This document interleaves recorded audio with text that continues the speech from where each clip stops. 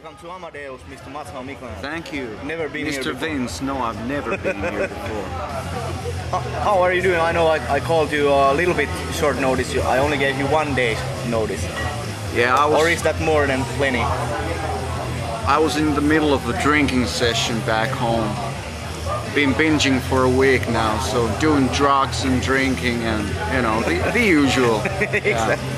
Well, you did all the hard work already, so now it's Actually, I faked. I, I did nothing. I just I just claimed I did everything myself. I paid for a lot of good musicians to do it, all the work. and singers. Exactly. So now I'm getting all the attention, and you know, those guys were very cheap. So it's coming together Did you pay? according to my plan. Did you pay with potatoes or uh, peanuts? No sex. Sex. Sex. Yeah. Yeah. Exactly.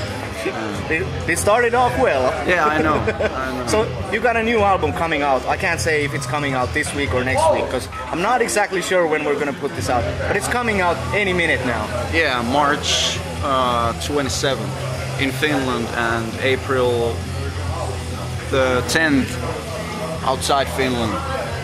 And you got uh, all the places covered, or is it just Europe coming out? Or I have no idea. I've seen the list, but I, I can't I can't say which places. I also uh, read online you commented personally that uh, you will also come and hand deliver if somebody orders straight from you. you Yeah, but will- I lied. You know, that was a long time ago.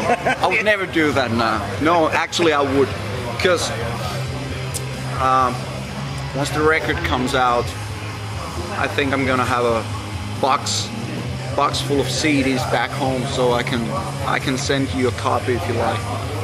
Is it gonna be like um, I talked to some musicians and nowadays it's sort of back to uh, back to like an old school mentality of you have the box in your bag and you're just uh, walking down the street and somebody and they hey buy a CD.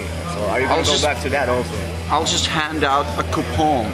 You know, you can sign in, fill it, fill in, fill in your name and address and email, and that's how it works. Awesome. I don't bother to carry the CDs around my bag. Well, they're heavy. I get that. Rather heavy, yeah. At one, one point, I was thinking of just um, having like a. If I have my laptop with you and you just come with your USB drive and oh, yeah, I'll download it for you. Yeah, exactly, exactly. Easy enough. easy enough. Who needs those Yeah. huge discs anyway? Uh, Spotify link. Go. Write it on a piece of paper. Awesome, awesome. Yeah. Uh, the thing about this album is that, um, as you've claimed, even though we know it's a lie now, Yeah. uh, you claim you've done everything yourself, Yeah. and it, it's taken you a while. Yeah. And can you sort of uh, take us back to uh, even before you started making it? Let's go back to when you were doing the album before this. Hell or high water. Yeah. And, and what, what was the kind of feeling um, after the promotion of that, after the touring, and when things sort of um, settled down? Okay, Yeah. that's now over, and what am I going to do now? You know what? We were going nowhere. And out of that frustration, I, I, I just I just didn't want to go on and I basically wanted to pull the plug on the whole band thing at the moment at, at the time and uh, at the same time I started hearing new music in my head which is a lot of my mentality. I, I'm a psycho, you know. I started hearing voices, you know, you know. Anyway, and uh, I started hearing new rhythms and uh, new kinds of stuff.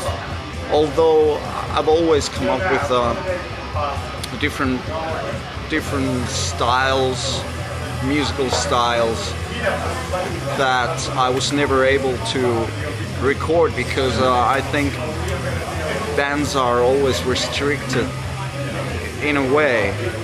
You know, the, the bass player plays the way he does, and the drummer got his own style, and etc. etc. So there are certain things, or or uh, you know, musical styles you can't like make work with that with the lineup you're in. You get stuck in a rut. Exactly.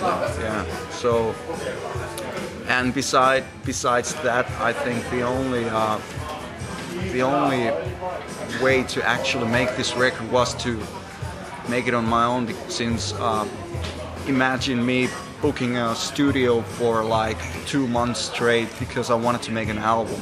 I didn't want to make a just one or two tracks. I wanted to make a full-length album, and uh, that would have cost a lot of money since I'm I have to play everything myself, and I can't play live in, Yeah, a, in the yeah. studio environment. I would so- love to see you try. I mean, Yeah. that would be Yeah. maybe that's the next album that you The next play album. everything you know at one time. Yeah, who knows?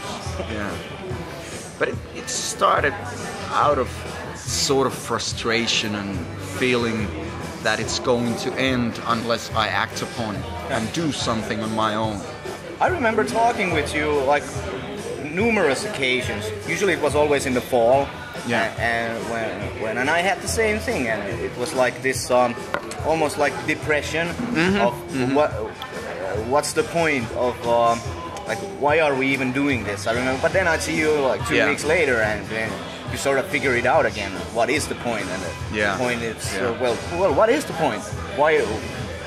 What what made you decide? Well, I'm gonna, you know, I'm gonna learn all these new techniques and, and produce my own record. So like, I find that there's no point to live unless you do something that you love doing.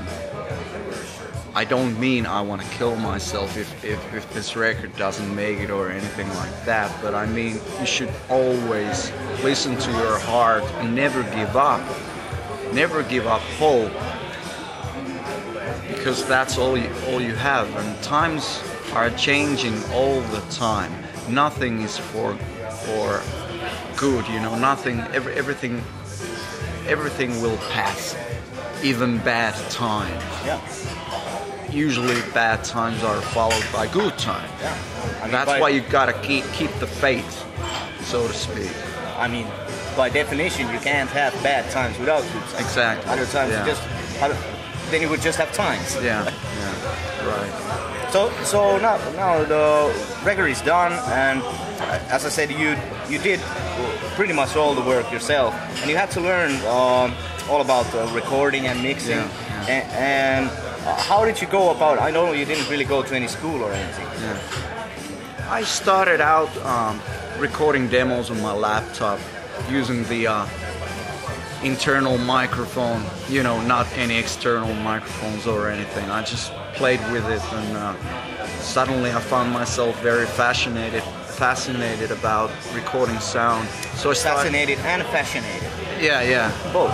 Yeah, so I started um, looking a lot of videos on YouTube, reading books, and going.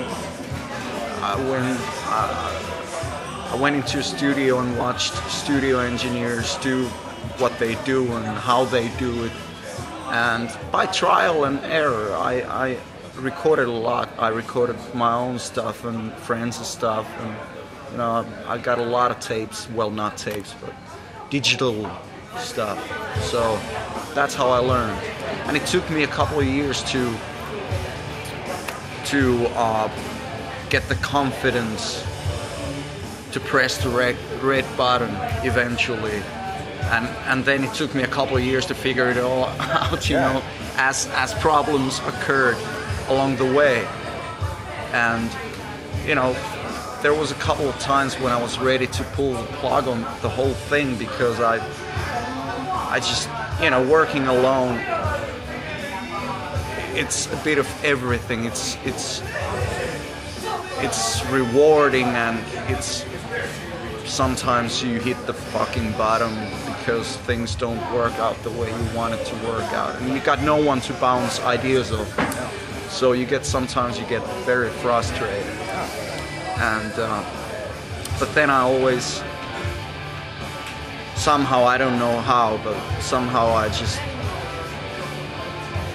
i got it done finally yeah Now now the record is well almost out. It's Yeah. um, you printed printed it out. You've done the covers. Yeah. And, and you you had local talent doing um, the covers for you, and there's an interesting story. I don't want to go into it if you don't want to, but I heard um, about the cover picture. i love the idea. I love the execution. Yeah, the uh, the theme of the album is uh, muse, muses, and uh, the way I see it, the muse you're always sort of trying to trying to find and uh, capture is comes from within. You know, it's always you. The inspiration, the source of inspiration is always you yourself. And I wanted to. I, I had the idea. I wanted to put, put a um, female figure on the cover. You know, a muse figure. And uh, let's just say that uh, it's it's a compromise. I love the com- like if, it- yeah, if that's yeah. a compromise, what a compromise. Yeah. I, yeah. Yeah, I've got the muse on the cover. Yeah. and it's great looking cover, and yeah, Yeah. as I said, you had Good a, looking chick. Yeah, yeah. With a- I mean, yeah. I wish I was with her right now. Yeah. But uh, If only you knew. you, you had um, you had a local artist doing it. Yeah, Teemu Koskenoja, who's uh, done a lot of record covers, including uh, uh, Cheek, including uh, Petri Nygård, Finnish acts, and Flegmaatikot. He's a great talent, and I wanted to use a local artist to to make a great looking cover. So I ended up. Well, I asked Teemu, and uh, he was by a chance he was visiting Finland. He lived at, at the time he lived in uh, Malta, so so he was working there. So he was here during the uh, the uh, Christmas ho- Christmas holidays, and he got a little time to to do it. So it turned out great, and it's it's the best looking album design that uh, I've ever had, including the Blood Pit times. Yeah. Uh, if, if we look back, um, comparing sort of where you are now and, Yeah. and um, sort of where you came from with, uh, especially Blood Pit. Let, Yeah. Let's put the other solo stuff. But what is you? I wouldn't say you you seem like a different person. I mean, you're the same guy, but you almost seem like a different artist.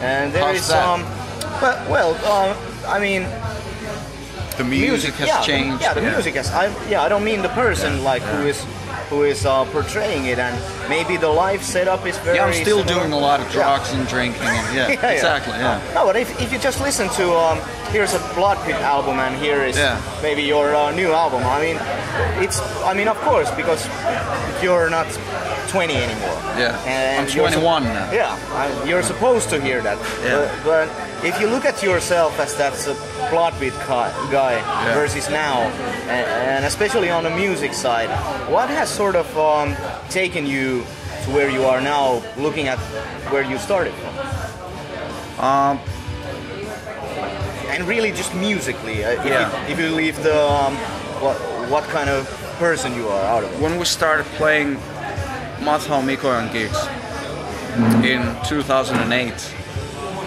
I had to cover all the guitar parts and guitar work on stage on my own. So it took a lot of practicing, and uh, as time went on, I sort of learned a few tricks and I became more technical about guitar playing.